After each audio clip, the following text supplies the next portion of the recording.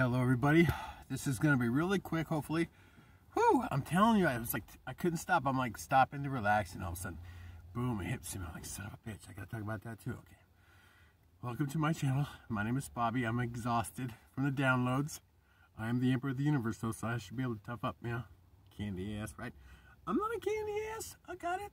I got. I ain't crying. I ain't scared.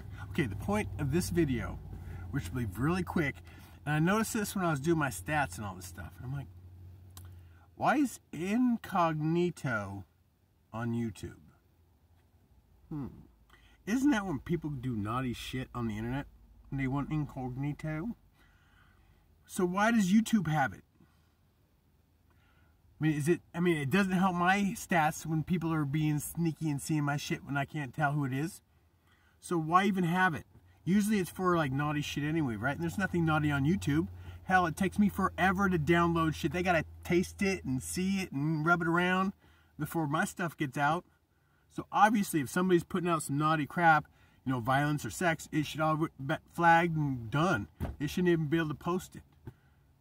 So why do they need incognito? I'm just saying. Something kind of shady about that, man. And it ain't helping my algorithm. It ain't, it's not helping my channel, man, if everybody that watches it is in incognito. I mean, come on now. Whew, that's it. What the fuck is incognito on on YouTube?